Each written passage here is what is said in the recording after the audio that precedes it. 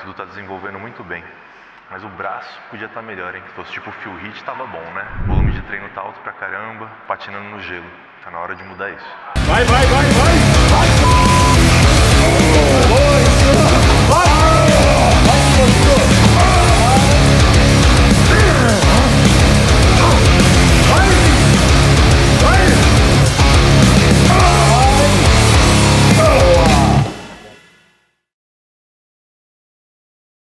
Então se você, que nem esse cara aqui, está patinando nos seus treinos de braço, esse vídeo é para você. Vem comigo que eu vou te passar as melhores dicas para os braços do Phil Hit, ou quase.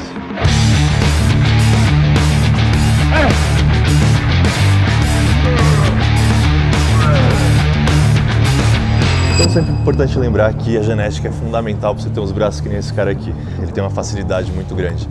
Mas a gente tem que trabalhar com as armas que a gente tem. E nada impede que você trabalhe com o máximo da sua genética. Tendo uns ajustes finos ali, fazendo um trabalho específico, você pode desenvolver muito. E hoje eu separei alguns exercícios que vão com certeza ajudar no seu treino de braço. Então a primeira coisa importante a você saber é o volume de treino semanal.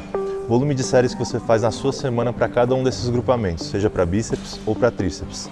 Você pode distribuir isso de várias formas. Hoje a gente vai concentrar em um treino de braço mas nada impede que você faça uma distribuição maior na sua semana. Importante também você ter em mente trabalhar sempre com exercícios que isolem bem o grupamento. Aqui a gente vai começar, por exemplo, com uma rosca Scott. São movimentos que a gente não tem esse cheating, a gente não consegue jogar o trampo para outros grupamentos que não deviam estar tá na parada, tá? Importante também a gente ter em mente trabalhar com exercícios bem isoladores, aqueles que impedem que a gente tenha muito roubo, outros grupamentos entrem na jogada, sendo que não é o dia deles, tá? Hoje, vamos começar aqui pela rosca Scott. Importante sempre você lembrar que as séries de aquecimento não são contabilizadas no volume semanal. Os movimentos devem ter grande amplitude, lembrando que a musculatura alongada com sobrecarga é o principal fator que vai gerar o estímulo da hipertrofia. Controle do movimento tanto na fase concêntrica quanto na excêntrica. Para você ter certeza disso, seria legal adicionar também um pico de contração e certificar que esse movimento está sendo com total controle. Então outro movimento que eu gosto muito é trabalho de polia. Trabalho de polia, diferente dos trabalhos de peso livre, você consegue exercer uma tensão constante. Seu movimento não é baseado na gravidade, ele é baseado na angulação do vetor de força da polia. Só que tem muito problema quando a galera começa a trabalhar na polia com estabilidade e roubo. E por esse motivo a gente vai estar fazendo uso do banco hoje.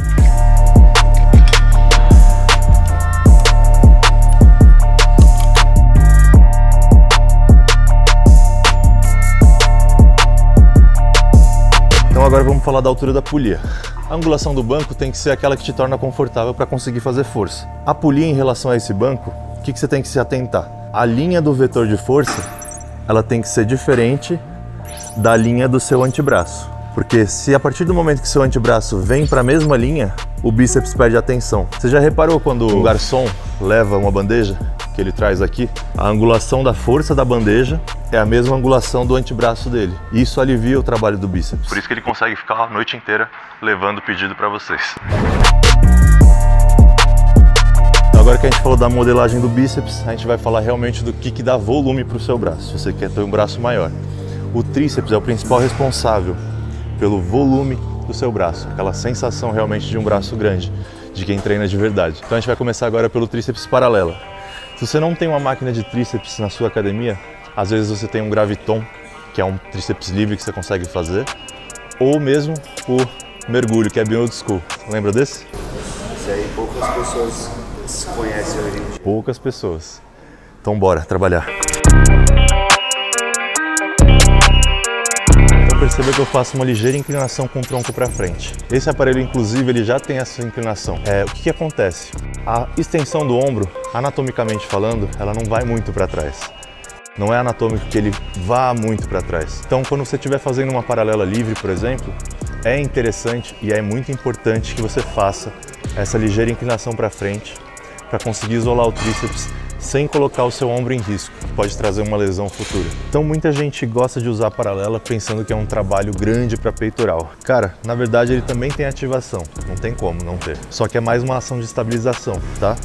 A flexão e extensão de cotovelo vai trabalhar principalmente o seu tríceps. A mesma coisa quando a gente fala de um supino fechado. Você deve ter visto alguém fazendo ou você mesmo fez um Smith. Supino fechado grande flexão de cotovelo, grande ativação de tríceps, mas não deixa de ter trabalho de peitoral. Então, partindo do mesmo princípio que a gente fez na polia para bíceps, a gente vai fazer o mesmo esquema para tríceps. O banco vai evitar que a gente faça aquele jogo de tronco que o pessoal sempre sabe, sempre fala, ah, não sei se eu me inclino para frente, se eu me inclino para trás. Aqui vai te manter uma angulação fixa o tempo todo. E alunos aplicados que vocês são, que eu sei, né? Já sabem que a angulação do cabo não pode ser a mesma angulação que seu braço. Porque se a partir do momento que o cabo fica no mesmo, na mesma linha que seu braço, você perde a tensão. Porque tudo está sendo estruturado nas suas articulações em vez da tensão do tríceps em si.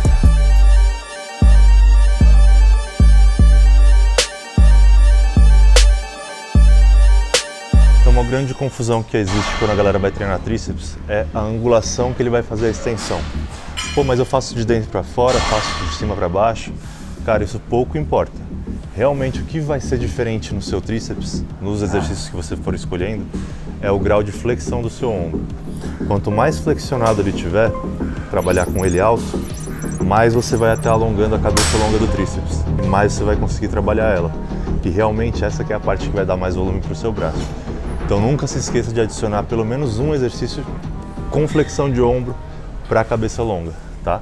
Você consiga ter um trabalho mais completo do seu braço e assim chegar mais perto do feel hit. Então é isso, pessoal. Espero que vocês tenham curtido essa didática que a gente fez dos treinos de braço, que adicione bastante cultura ao treinamento de vocês.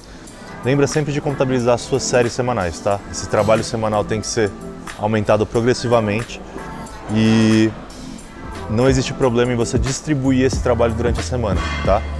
Às vezes o último exercício começa a ficar meio mal feito e tal. Então, cara, se começou a ficar muito desgastante, é interessante que você quebre esse treino e distribua na sua semana para que você mantenha a qualidade dos exercícios sempre alta. Espero que vocês tenham gostado. Deixa aqui embaixo que exercícios que vocês querem ver, que a gente vai trabalhar cada vez mais para melhorar o treino de vocês.